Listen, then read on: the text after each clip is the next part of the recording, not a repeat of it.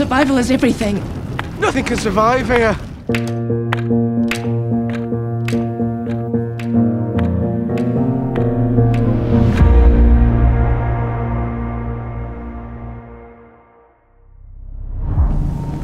Dan and I worked with John Bradley for eight seasons at Game of Thrones and, and loved every minute of it. Um, And he we never ne- died. But we never got to kill him. No. And so we um, we There's had an something missing from our lives. Yeah. I'm Francis Bacon. I was intrigued because they said to me, We're going to write a character for you that's more like yourself than any character you've ever played. The game found something we're both familiar with. You better not have gone through my search history. In amongst all the bluster and in amongst all the humour and the wisecracking, there's a really beautiful soul in there who really wants to take care of his friends. Both of us thought, God, it'd be really fun to have a character who is not Samwell, but more like the John Bradley that we're watching right And now. And John's just so effortlessly confident and quick and witty. You do you, and I'll be in the pub when you come to your senses. No, Rooney. The San-Ti want compliance, You said I was free to go. You were? but Jack's just too much of a strong personality, so he, he falls foul of them. All you had to do was keep playing. In our original conception, of the Tatiana character didn't really have that many scenes. No. Marlo, you know, she's such a great actress to watch. She ended up being in, I think, almost all of the episodes and in, in crucial moments of almost all the episodes. So that's a credit to her as an actor. The answers to all of your questions are waiting for you in level four. Much of the episode regarding the headset in the video game is this mind-bending experience of like, what is this all about? We don't have this technology. Where did this come from? Why are we experiencing all these, uh, all, all these crazy things? The stars, Auggie's Countdown, this video game. They're all virtual realities indistinguishable from actual reality. Through the Oppenheimer's mistress example, you're meant to wonder, how did this happen to this guy, and is it are things what they seem? Oppenheimer's mistress died the same way. On her knees, head in a tub. When we first shot the scene, I thought, how many people are going to know this reference?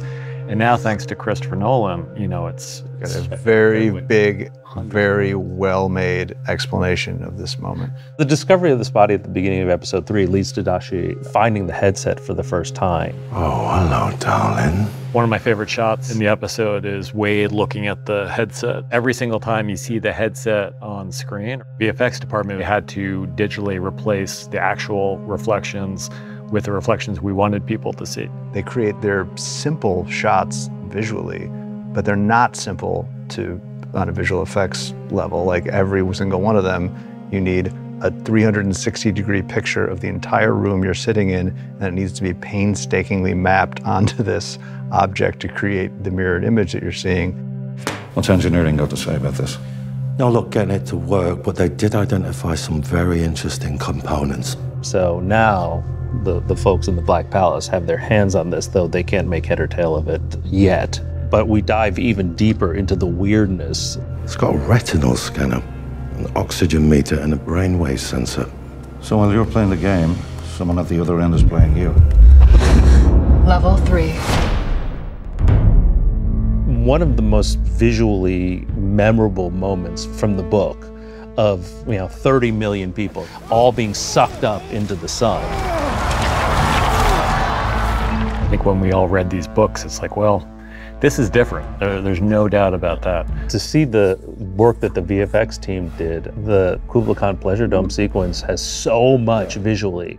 It's such a fun idea, and just the mixing of, of that grounded historical reality with something that's completely bonkers. We took full advantage of reality with that world.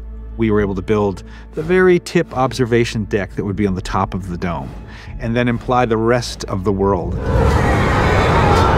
One of the fun things about doing those video game sequences is that there's no limit to how weird they can get. You know, also a chance to work with you know some of our favorite favorite comedic actors, which was Reece Shearsmith and Mark Gatiss. I've developed a science I call calculus. Uh-huh.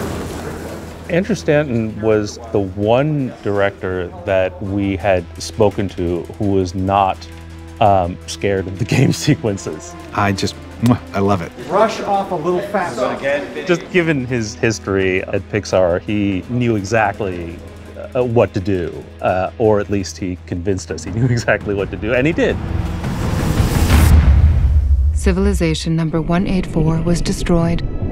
I don't know if we had an idea of what, in at least in those scenes with Evans talking to the Lord, mm-hmm. what would be on the other end. Where was I? Until after we cast Sea and heard her voice, and it was so perfect. You said the boy Hansel was afraid, but the girl was not? Not at the moment, no. It does sound a little bit AI generated. I really wanted her to sound grounded, humanistic, and powerful without having to be loud. She doesn't really go full robot, but she does something that just sucks all the emotion out of her voice, which is a funny thing for Sea to do since she seems completely incapable of doing that in her real life. She's a very warm, one of the warmest people in the world. The moment we received the invitation to your world, we knew our destination. Watching Sword Lady and cute little girl's explanation of what's really going on to Jin and Jack, and watching how Eve Ridley, as, uh, as follower, goes from cute to really menacing, but also cute at the same time. We can't wait to meet you. There's a lot happening in that scene, and almost all of it pays forward into the rest of the show. They're real. We call them the San-Ti. Come on, this is fucking mental. She's talking about aliens. This is the first time, I think, that we use the word aliens. So, you know, for this show that is about aliens, we go almost to the end of episode three before that's even put on the board. And uh, hopefully you get the feeling of like, oh, of course. We built an interstellar fleet of a thousand ships. And they are on their way.